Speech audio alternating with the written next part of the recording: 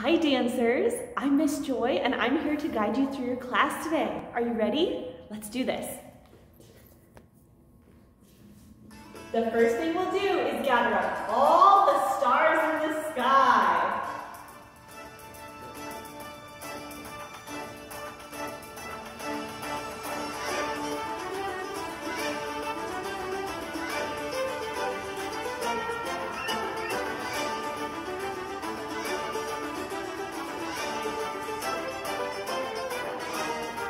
Woo!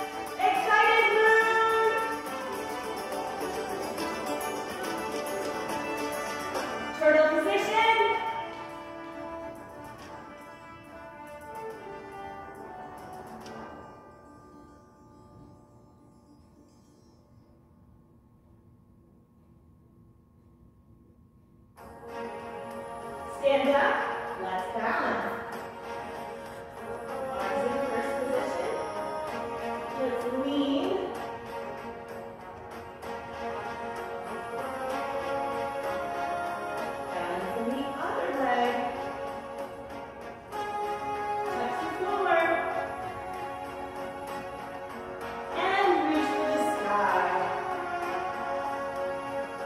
Gonna stretch our shoulders.